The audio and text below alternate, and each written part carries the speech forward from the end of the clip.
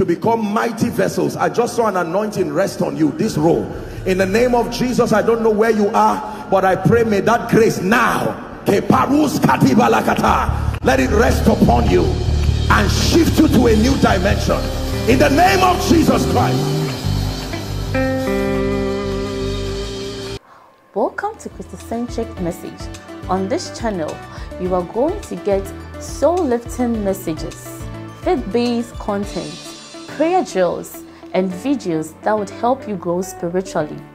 Remember to subscribe to the channel, like the video you are about to watch, and comment on it. Stay blessed. And ask Him one more time to bless us with His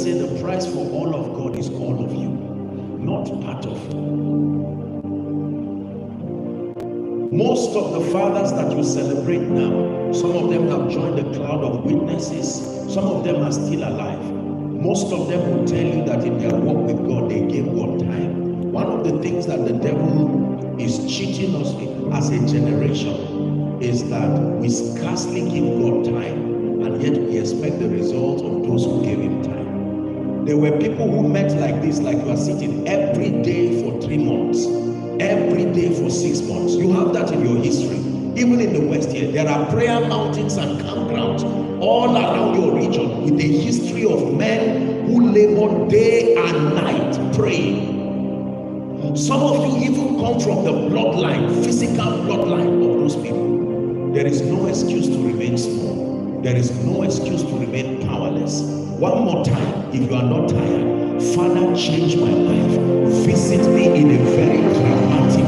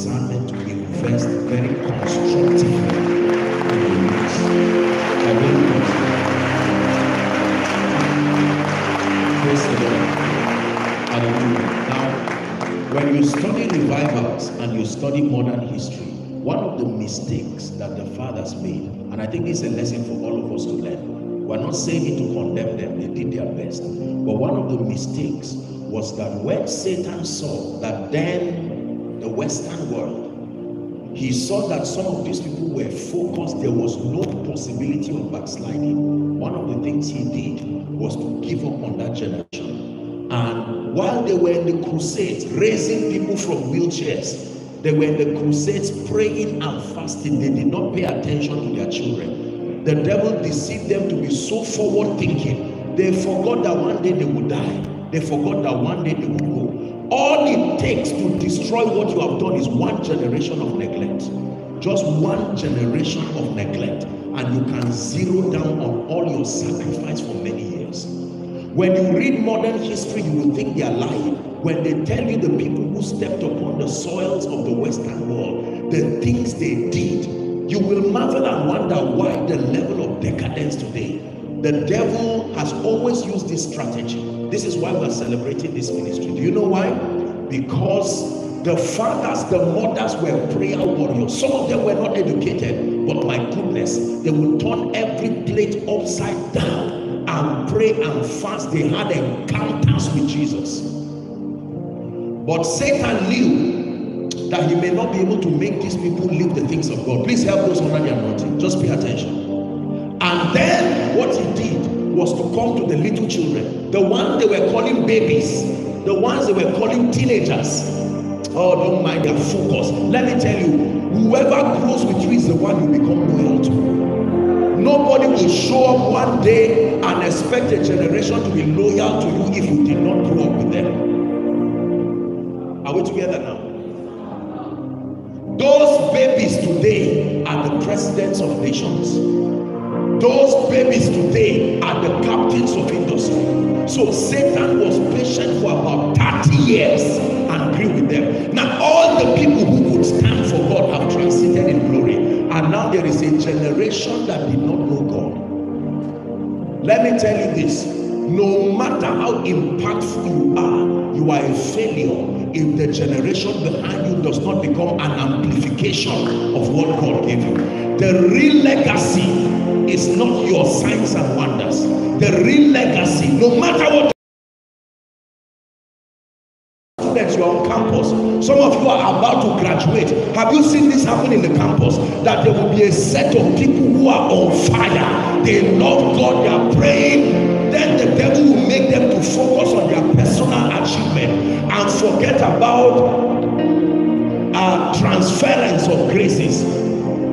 They won't mentor the ones coming they won't build anybody. Empire mentality makes them to keep enjoying. The graduate you will suddenly find two or three years with no one who is spiritual and it brings the fire on that campus back to zero. Occultism will now grow again. Drugs will now grow again. Until god now begins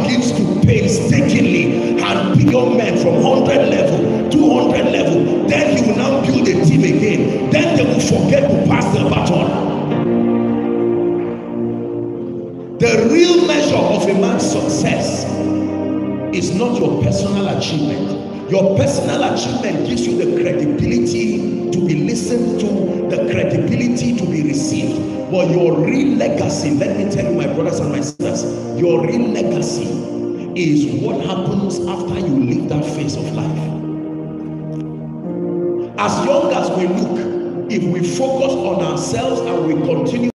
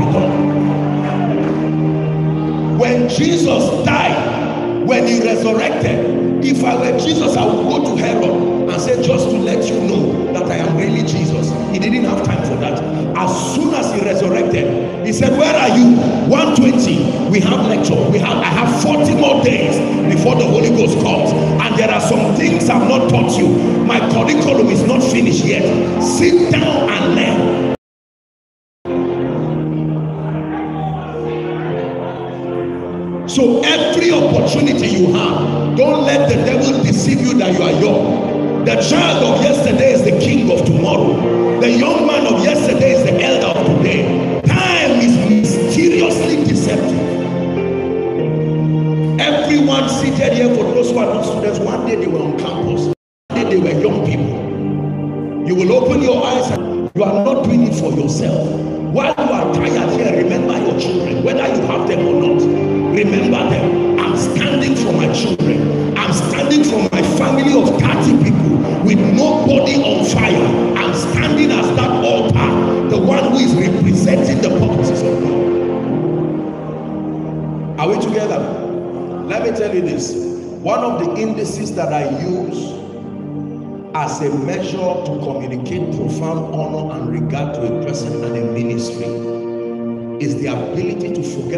Themselves and their personal achievements and look at the generation coming. It is selfish to focus on all the crowns and everything. No matter how anointed we are, we will not always be at this level. As footballers, once upon a time there were names in this country when you call goalkeepers, footballers. Are we together? I'm not looking down on them. But the reality of life is that time Everything is a measure of time.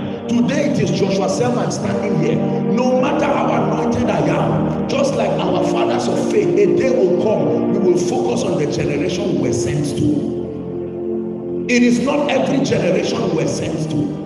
Where you are sitting now, a day will come, you will not sit there again. It will be someone else, maybe your children who will sit. And if Joshua Selman and Co did not do a good job, they will be seated, but there will be no preacher we will still be alive preaching to the generation that were sent to. And David served God in his own generation. May it never be that our children will not have crosses that still direct them. Can we pray for the generations coming? Don't say you are too young. I don't know why God decided to take us this way. But lift your voice and pray. Think generational. Pray for your campus. Lord, I will not graduate the way I met things. I came and I met cultism.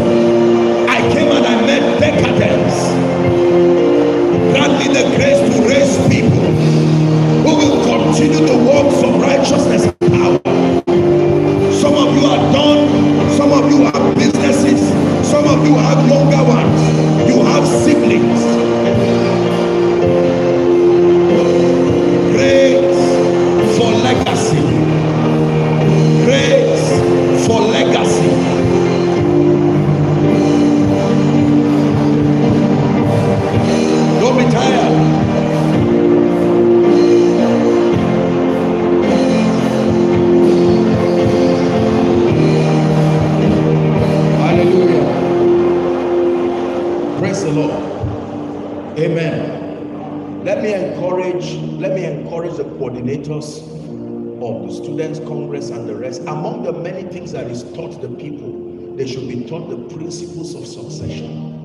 succession. Is not something that happens without being taught. Succession is the secret of continuity. The things that thou hast heard of me among many witnesses, commit thou to faithful men who will commit them to others. The Christianity we receive today is because people brought it and they were good at succession no matter how successful you are, if you do not understand succession, there will be no continuity to your impact. This is one of the secrets of the Jews. You go to Israel today, they have mastered succession. Corporately speaking, you go to the West, from a secular standpoint, they got it well. You will see restaurants that are 130 years old. You go to Europe, you will see buildings that are almost 300 years old succession. But in our nation, sadly, and in many parts of our continent, there is hardly second or third generation of anything. A father will labor and do everything, build business, serve God, sponsor missionaries, only for the man to die because he did well, but he did not think of the children. And they will become a very irresponsible child who in five years will destroy the legacy of almost half a decade.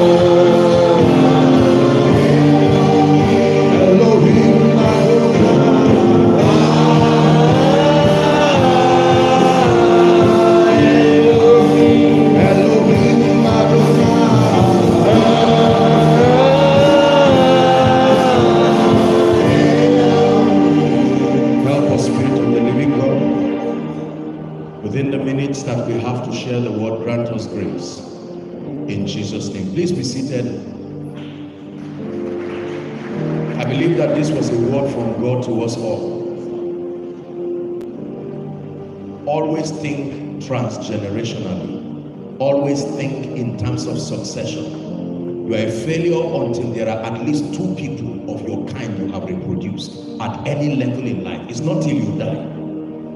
If you can, as far as transformation and conformity is concerned, is to the degree to which we are able to see Jesus and learn of him. He says, take my yoke and learn of me, for I am meek and I am lowly. Praise the name of the Lord.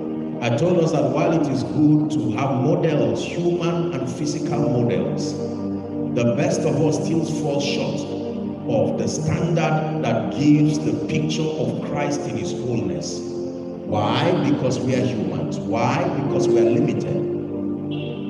So in spite of all of the things that we attempt to do to be worthy models, the greatest model that is worth our emulation and worth our pursuit is Jesus. He's the benchmark, the reference, his perfect theology. Are we together?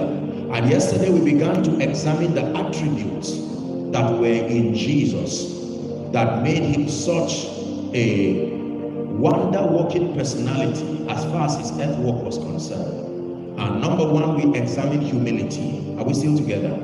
We looked at the quality of humility that one of the classic signs that you are conforming to the image and the character of the Christ in experience is humility. I shared with us a few principles that help us to walk in humility. Then we looked at love and compassion, not just love for God, but love for men. The ability to be touched with people's, the feeling of their infirmity. Um, praise the Lord.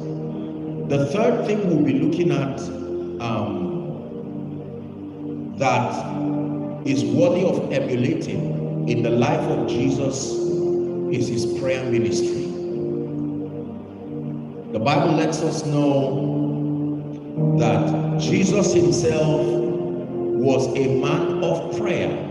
Even though he was 100% God, he was 100% human.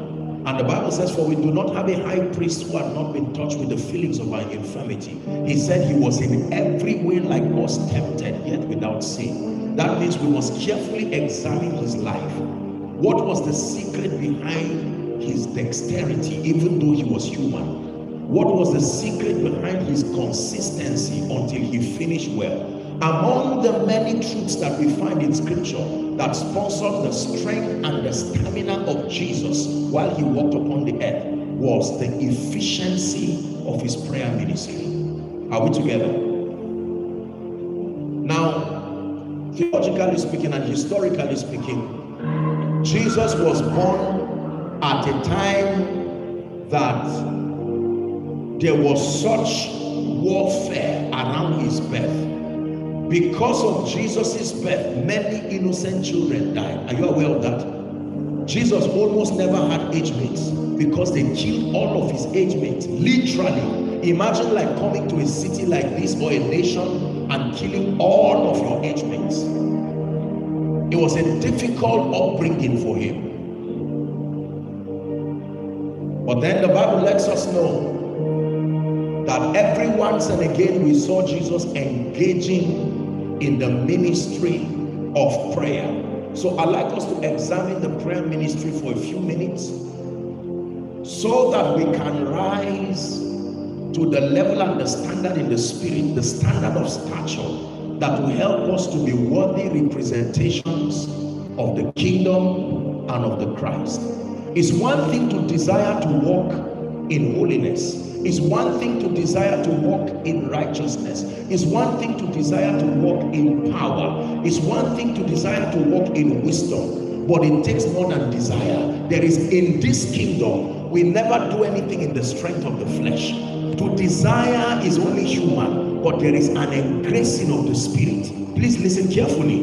In this kingdom, the effort of the flesh will only end men in futility. You will desire, you will will to do it. But if the grace that picks you up to that level in the spirit is not there, you will consistently fall short of your expectation. Is God speaking to us? Many of us desire even an arm robber when you ask him, or Maybe when you meet someone who smokes or drinks and you sit with him and say, the kind of life you are living, are you really happy about this? In all honesty, sometimes some of you, you have them around and they will tell you sincerely, I, I don't like this kind of life. Is that true? And once you talk to them, you will think they have repented, they will never do anything again because of the level of brokenness. One day later, they're at the police station again. Because in this kingdom, look up please, let me teach you, pay attention to what I'm teaching you this afternoon. In this kingdom, demons are real. In, in this kingdom, Satan is real. There is a real devil that has vowed to see that your life will never rise to God's expectation. Spirits are real Wickedness is real. The Bible does not leave us in the dark as to the fact that there are forces and that not every force is godly. Spirits That will fight to see that your prayer There are spirits that will fight to see that the prophecy upon your head from birth never comes to be fulfilled. Oh, when you were giving birth to a prophet came and said, this lady is going to be like Esther in the palace. And you are not the only one who spirit also had it. And they vow and covenant that for as long as we are here, this lady will not rise as a light in this family. Please listen to me. No matter how modern we are, no matter how advanced we are, no matter how educated and how technological we get, the reality that is in the realm of the spirit is that powers are real and they are not sleeping, they are not folding their arms. The Bible says Satan moves to and fro. Is it in your Bible? Like a roaring lion seeking for whom he may devour. There are over seven point something billion people on earth, and you will be surprised how many people are under the siege of Satan. Spirits are behind the tragedies in the life of men. I once had a story very many years ago of a young man who did well, finished school, collected his certificate. I think he was on a bike going home. And one of these trucks that carry products just came with speed and crushed that person, even climbed the neck. He died there and there. And that was the only one who was rising in that family. Don't tell me it was a coincidence. Spirits are real. What of people who read and even conduct tutorial for others? And then when it's time for exam, they sit down here as if they've never read. Until they fail, they are taking their bath the, they now remember the answers. Wickedness is real. Oh. Please listen to me when I tell you this. Our world is immersed in a web of evil and wickedness. And the Bible, knowing this, made a provision for the saints to be able to navigate through the times of evil, navigate through the times of wickedness, of witchcraft, and all of these orchestrations. Ultimately, the victory comes through the sacrifice of Christ, but the administration of that victory requires engaging the faith of the kingdom. let me repeat myself that even though the victory is finished in Christ, as far as the Bible tells us, the administration of that victory in your life here and now will be predicated on your understanding and engaging the forces of the kingdom. Just because the victory has been won does not mean it will automatically be made manifest in your life. Forever, oh Lord, it says, your word is settled in heaven, not in your life. It takes engaging the forces of victory that have been given to the saints. And one of it is the ministry of prayer. Do you know what it means to grow in a place where you know they hate you? From the king there. Herod did not hide his own. Go and search for that child that I will come and worship him. And he was negotiating so that they will kill him. To the point that the angels, Joseph, God used dreams, he used angels to hide Jesus. When Herod died, he said, now you can go. The one who seeks your child is gone. Do you know what it means to walk in a world where you suspect that anybody can kill you at any time? Your life and your ministry is not received. And yet Jesus was able to rise to that standard and he finished strong. That means there is something that we need to learn. Walk with me for a few minutes as we explore a few principles that can help us rise to that stature through the ministry of prayer. Number one, the Bible lets us know Matthew chapter 10 and verse 16. Please give it to us. Matthew chapter 10. Please write it down. Matthew chapter 10 and verse 16. Behold, I send you forth as sheep in the midst of wolves. Very interesting information. Jesus is talking now, not a prophet, not an archangel. I send you. Let me define for you the territory that I'm sending you to. You are an innocent sheep. You see, a sheep have horns. A sheep does not have a system of defense. The only system of defense of a sheep is its shepherd. So he's saying, I send you as sheep. But a wolf and a sheep does not lie down in the same place. When a wolf sees a sheep, the assignment is to tear it into pieces and eat it. And yet the God of all flesh sends us as sheep among wolves. That means the tendency to see your destiny go down as far as this one is concerned is 100% the tendency to see that although you rise, you never amount to anything is 100%. The tendency to see that tears and sorrow never depart from your life is 100%. The devil is that determined and God did not leave us in the dark. He says, therefore, on account of this information, be as wise as serpents. One of the few times in scripture where God will recommend people to learn the wisdom of the serpent and to be as harmless as doves.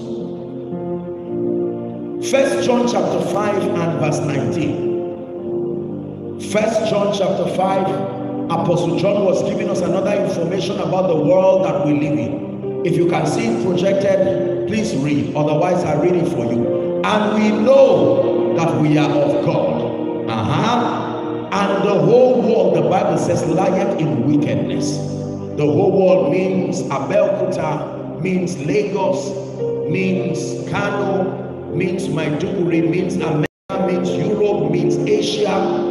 The entire world is immersed in wickedness, the Bible says. Very instructive information.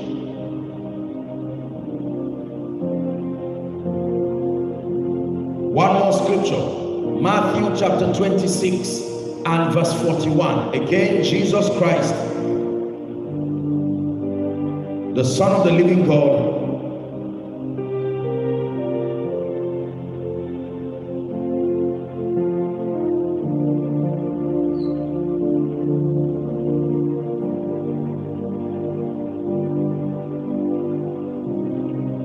26, 41. Are we there?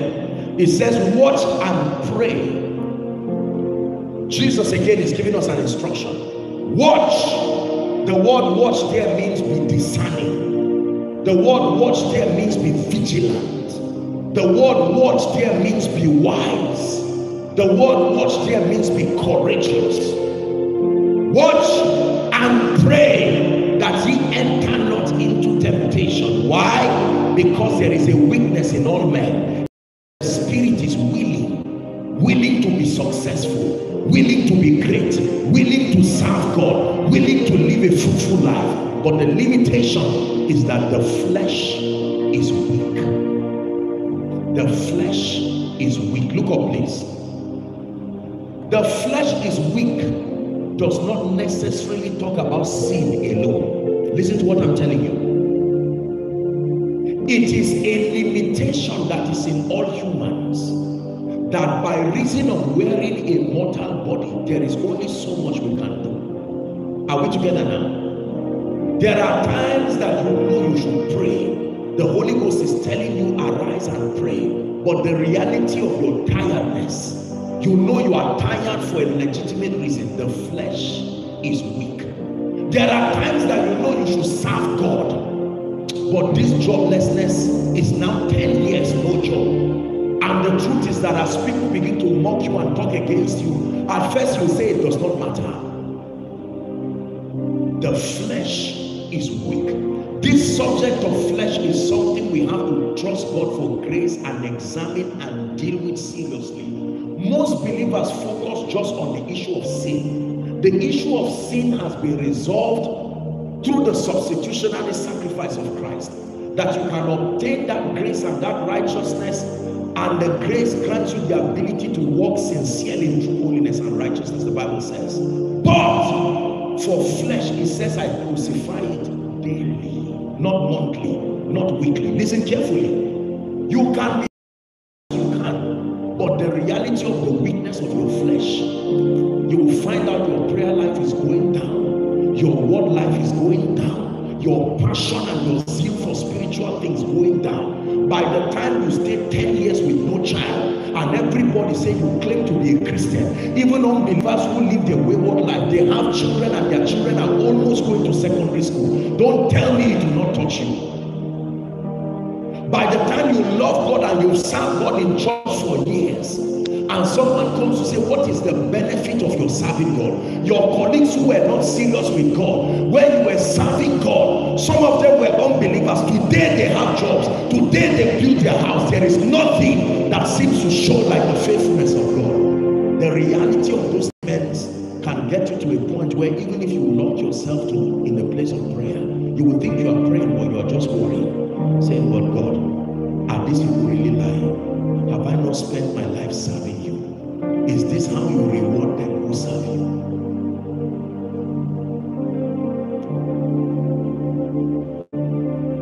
You need strength in your inner man. The Bible says, if you turn aside in the day of battle, your strength is small. Can I tell you this? Every one of us seated and listening to me here and those who might be following online, for as long as you are alive enough on this earth, a day will come when the reality of life will hit you to a point that if you do not have sufficient spiritual arsenal to stand in strength, you may fall by the wayside even after many years of serving God. Most of you here, you still receive support from loved ones and parents. Whether you sow or not, there's a harvest coming. So you may not understand the implication of what it means to be exposed to a wicked world, where someone vows and says, I am the boss in this office. It is over my dead body that you rise. Yet you are the one, the brain behind the growth of the company.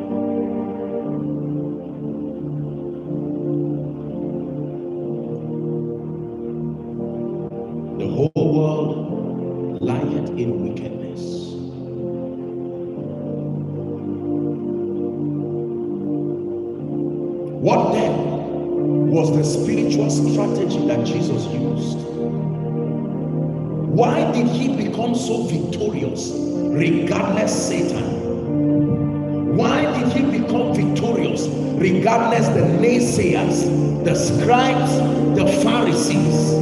Why did he become successful regardless all the schemings of darkness? What technology did he employ to be able to still rise and finish his assignment. He said, My meat is to do the will of him that has sent me and to finish it. When he was on that cross, hallelujah, he said, It is finished.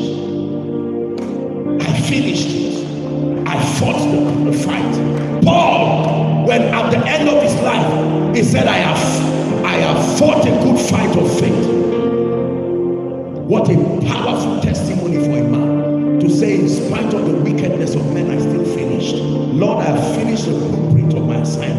You stand and look at Ed. I remember when Billy Graham was preparing to leave.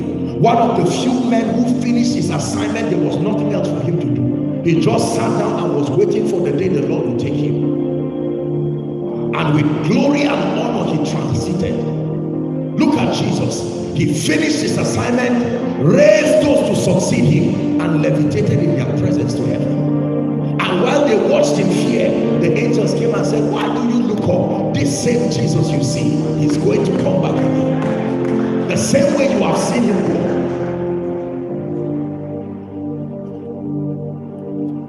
There are many ways, listen carefully, that God helps men. I will lift up my eyes unto the hills. From whence cometh my help? That was a question. Then it says, My help cometh from the Lord, the maker of heaven and earth. Let me show you one of the ways that God helps us in this kingdom, regardless the arsenals of darkness. When you find this secret that I teach you this afternoon, you can guarantee that you will finish strong. You can guarantee that after 30 years, you will still be standing, serving the purposes of the kingdom. When all the dust rises and falls, you will still be standing and serving the purposes of the kingdom. Are we? 26.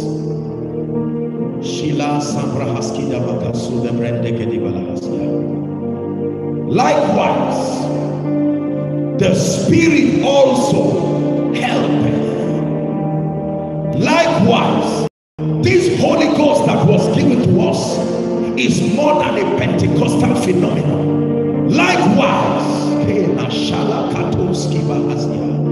the Holy Ghost, the Spirit also helpeth our infirmity the word translated infirmity there does not mean sickness. It means bodily limitation. The limitation that comes to you by reason of wearing a mortal body. That the Holy Ghost was sent to us because God knew that outside of him there is no chance of our survival. Not in this wicked world. Are we together? Helped our infirmity. What is the infirmity? We are limited for we know not what we should pray for as we ought. But the Spirit itself maketh intercessions with groanings which cannot be uttered. Next verse. And he that searcheth the heart knoweth what is the mind of the Spirit, for he makes intercession for the saints according to the will of God. I do not know what challenges my family will face. I do not know what onslaughts of darkness will come against your life, your ministry, your career. But one thing you know is you can tap into the of the Spirit who is not limited. Do not forget that from Genesis 1 verse 1, the Holy Spirit is master over chaos. Every time there is darkness, every time there is chaos, is the, is the dimension of the Godhead that is introduced. Are we together? The Spirit helpeth our infirmities. How does He help me? By supplying you a dimension of a prayer language that even understand, the Bible lets you know that every time you utter that language, there is a coordination. You are praying with accuracy according to the will of God. I may not even know what I need for the next level of my life. I may not know what I need for the next level of ministry. I do not understand the kind of demonic structure that put themselves to come against me. But one thing I know is that even though I am limited, as a human being. There is the supernatural spirit that was given to me, and He's provided a mechanism that if I engage it, no matter my limitation, the Holy Ghost who sees this entire span of earth, He knows how to direct me to pray such that I will eventually imagine victory. Now, thanks be to God who causes us always to triumph.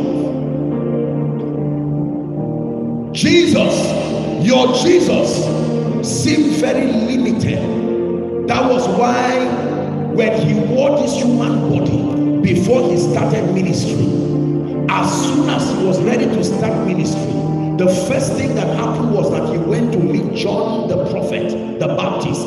When John baptized him, listen, he had not preached any sermon. The heavens opened and the Holy Spirit came and descended upon him. And the next thing that happened was that he was driven to the wilderness. He prayed for 40 days, 40 nights.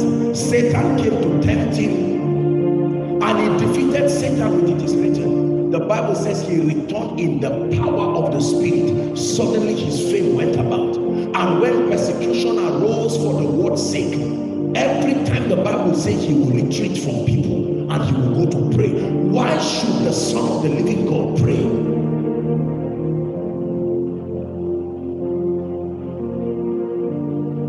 No mention of him praying when he was in heaven before he came. But the moment he became a man, he had to pray. Luke 18 verse 1. Please learn this secret that I show you as we pray. Luke 18 verse 1. The Bible says, and he spake a parable to them to this end that men, prayer is not for those in trouble. Prayer is not for prayer warriors. Prayer is not for ministers of the gospel. Prayer is for men. The that you are carrying a body. Prayer is mandatory for your survival. It is not something for those who want to go into ministry or those who think they want to walk in power. No. He's speaking parable that men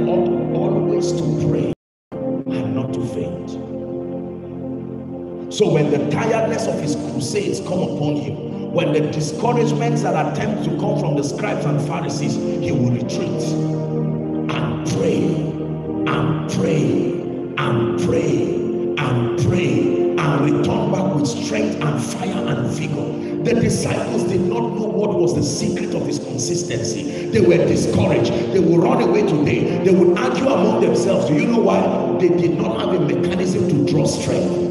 Until that time, it was not yet given to them. So discouragement was the order of the day. There were all kinds of carnal things among them, arguing for position, who would sit at the left and right. Jesus, when are you going to conquer Caesar and Herod and give us a share of this inheritance? And said, look how carnal you people are. We're discussing kingdom matters and what you are thinking of is this. To the point that they even got their mother, James and John, to come and help them negotiate the position in advance so that there's no argument when Jesus becomes a victor. They were arguing about who was the greatest they were arguing about leadership. At a point in time, they now became angry and said, Master, we have left all. Don't think we've forgotten it. We have left all to follow you. What is our stake in this? Because they were weak. That was the weakness of the flesh playing out. Even Jesus got to a point in Gethsemane when he was becoming sin. For the first time, the Holy Ghost was going to leave him to continue his journey of his passion unassisted by the spirit of grace. And he cried. He cried and cried and cried. Father if it's possible take this cup off me. That's to tell you the reality if jesus got to a point where he was weak do you know what i love about the bible it leaves everything bare it doesn't doctor anything and hide it if jesus cried to write it there if Jesus was victorious, he would write, it. Your Jesus, the Son of the living God, was tired. And he said, Father, I never knew it was going to be this hard. Is it possible for us to renegotiate salvation? And then he just said, No, nevertheless, not my will. That's the strength to continue. But your will be done. You read about the disciples Read about how most of them were killed and martyred. Some of them were turned upside down and they were hung. Some of them were hung in a transfer section. Some of them were fed to animals. And yet in modern history, even at the point of death, the Holy Spirit, He can give you strength and courage beyond your imagination. That with this Holy Ghost, you can stand in front of the board and see two carryovers and say, but Lord, this was not the plan. And yet in the midst of it, you will still find strength and be comforting someone else. And they say, so how will you do with your life? Now you say, no problem. I know that all things work together for good. And they say, shouldn't you be crying? And while other people are saying, what a shame, you claim that you serve God all your life. Where is your God that will not help you? You say, no problem. I will pass through this with honor and nobility. I know that the one extra year, something is going to happen that will change my life. There is stamina when you understand the ministry of the Holy Spirit. Now, please listen to me. The subject of being filled with the Holy Ghost with evidence of praying in tongues is not a Pentecostal phenomenon.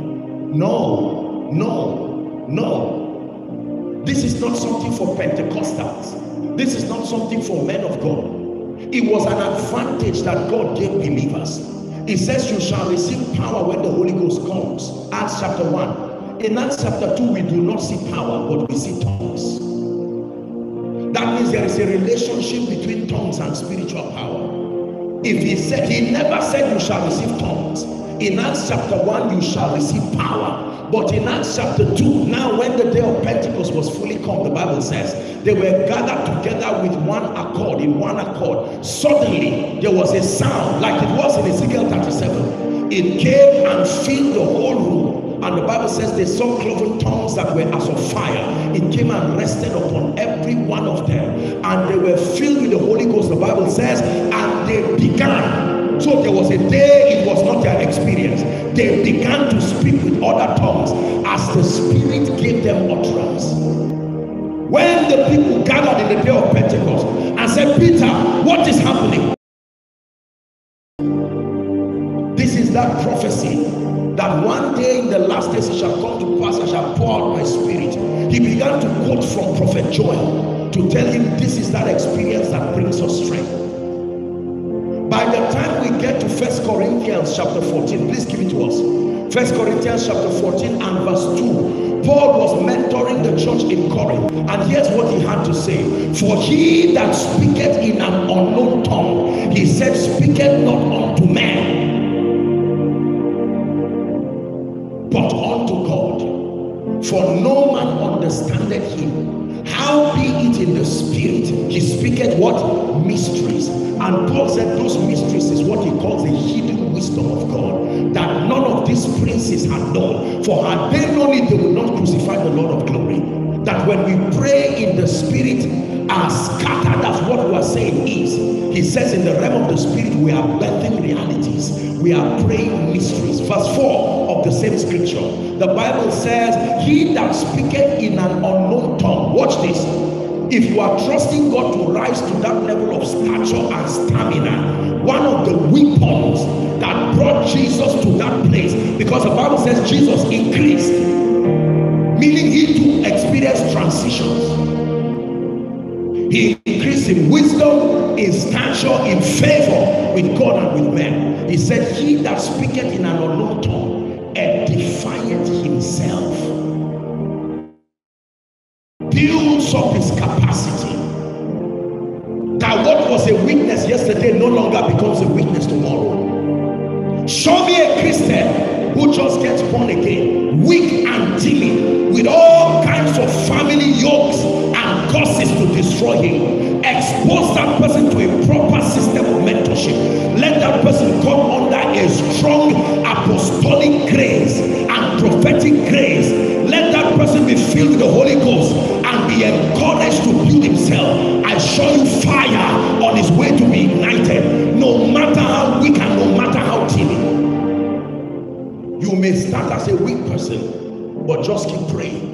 One day becomes one week. One week becomes one month. Every night you go to pray. While you are praying, you are even tired yourself. Do you know what you are doing? You are attracting through your consistency the spirit of prayer and supplication. The Holy Ghost, that dimension of his ministry is being exposed to you. One night it will do you like a dream. You will pray as before, and the grace will fall on you. You a only you there. From that day, no matter what happens, prayer will no longer be by your strength again. You have been carried by the wings of the Spirit. The grace for supplication is upon you. That your bodily weakness will no longer be able to swallow you up again. It is at that point, listen, all the other gifts of the Spirit are activated by your consistency of praying in tongues. Believe me, this is my office. I know what I'm saying. All other gifts of the Spirit, prophecy, word of knowledge, it is at the instance of your expanding your organs of interaction in the realm of the Spirit. You build stamina. All of a sudden, you sense something is wrong with mama. I don't know why, but I for two days now, I've been sensing that all is not well. You pick up a call and call home. Mommy, are you fine? She tells you, How did you know? I didn't want to tell you, but it's like I've been down. You tell her it is the devil. Now, in the name of Jesus Christ, I decree and declare that power be broken. Discernment. Many believers are dull of discernment. The devil comes slowly and comes to destroy us. We do not have the seeing eye. We do not have the hearing ear. Do you know why? Because we have neglected this precious gift given to us. If this gift was useful to make Jesus the model that we now celebrate, without the Holy Ghost, let me tell you, even though he was the Son of God, he never would have been able to survive it. The world is too evil to use just intellect and use strength. It is the ability to pray in the spirit that will give you strength. One year there's no money at home, yet you are praying. You hold the hands of your wife and say, Let's pray.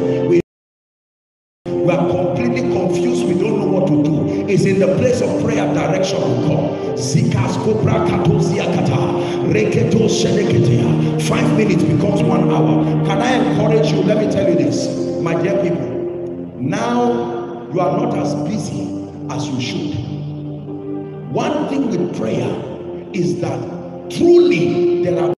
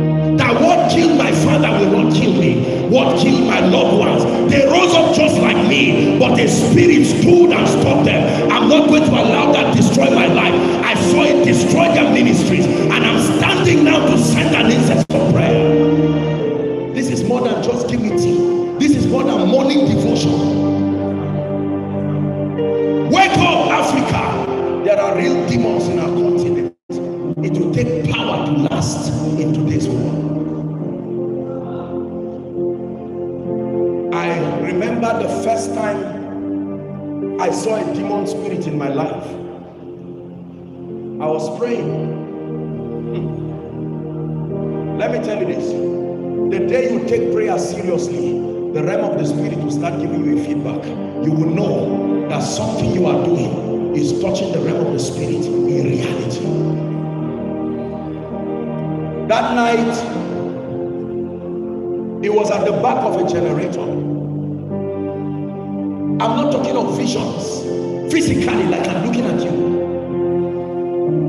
praying, and all of a sudden I go to the back of the generator, and who? here is this spirit standing, and he tells me, Get back. I didn't even know when subconsciously I started praying. From that day, the reality of the demonic realm, I had read about it, I had read it from scripture, but my eyes had seen it. I knew that this thing oh, is real.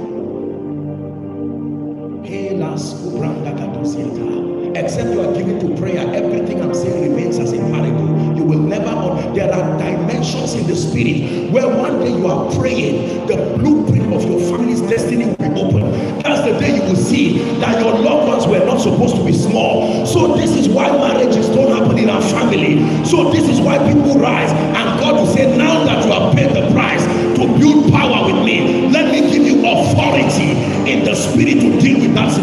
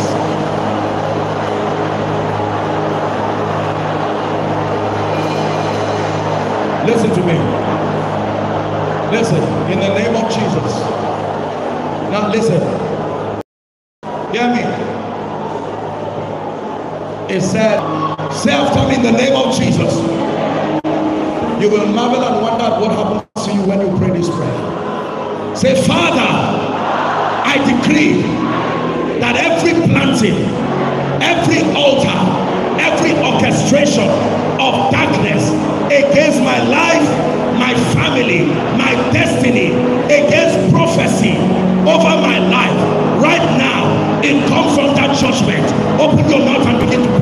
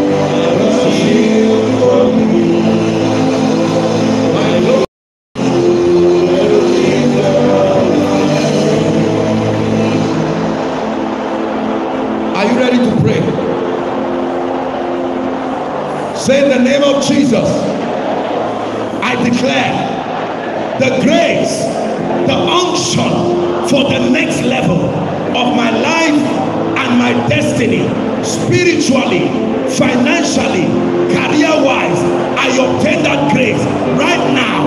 Lift your voice and begin to pray. Take grace, take grace. He said to come boldly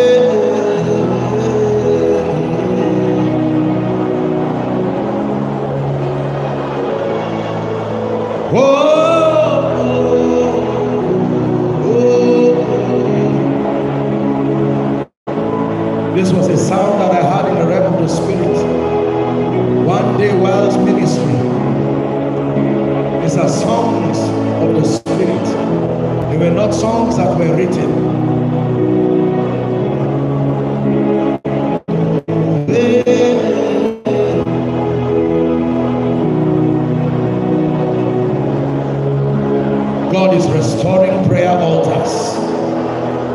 God is restoring graces. God is rekindling and reigniting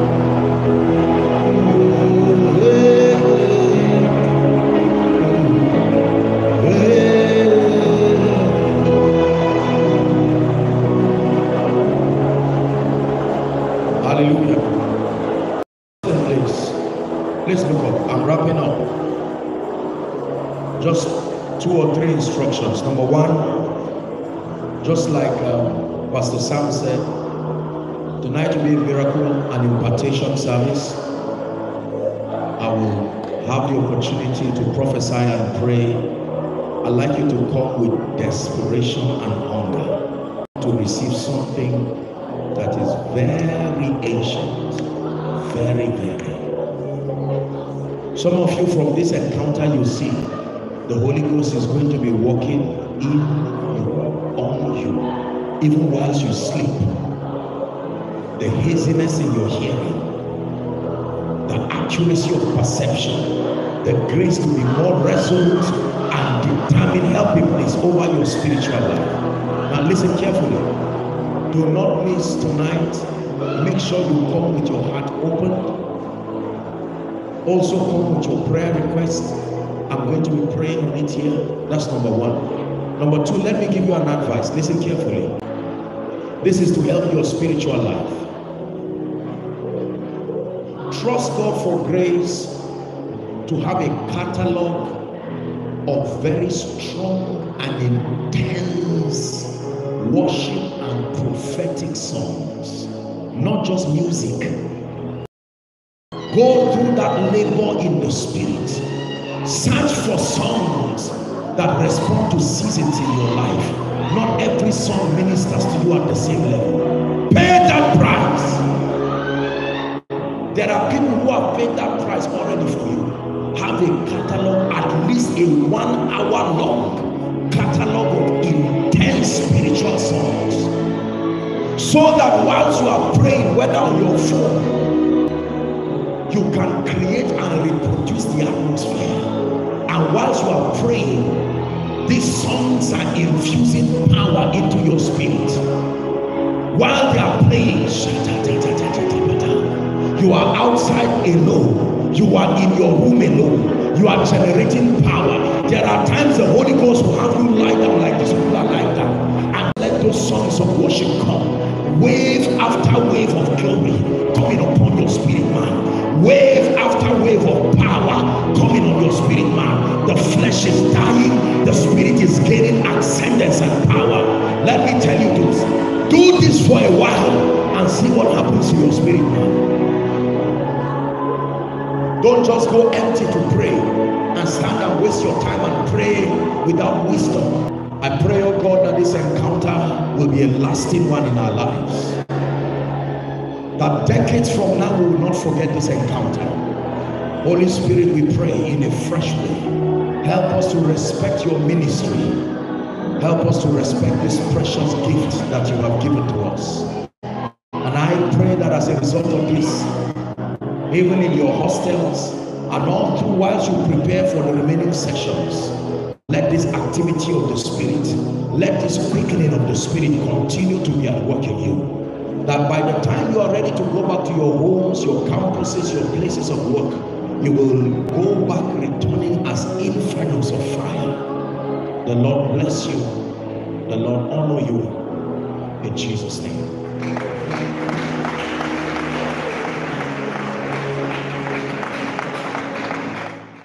Dearly beloved, I hope you were blessed by this message. Do not keep the video to yourself. Share to as many as you can to help them bless. Check our homepage for more of our messages. Subscribe to the channel, comment on it, like it. See you on our next video. Bye. Pray, pray, pray for your destiny.